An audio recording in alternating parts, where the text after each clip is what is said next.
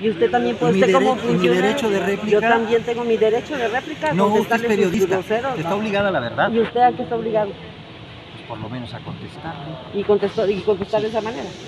De la que me dé la gana, pues si ni que fuera Así yo es, monedita de así oro. es. No, nadie dice ¿A que poco sea no me de conoce?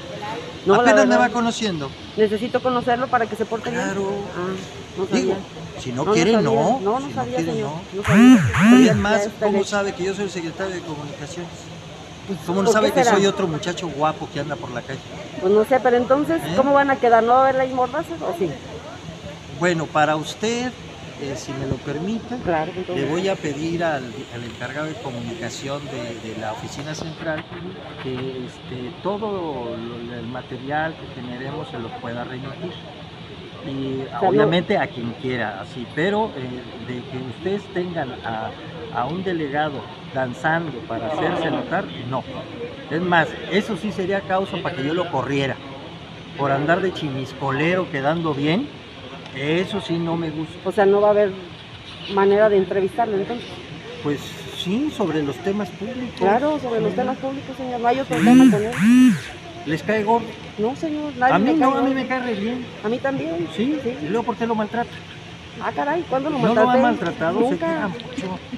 Pregúntele a No él. se llevan. No, yo la verdad O han no de estar enamorados.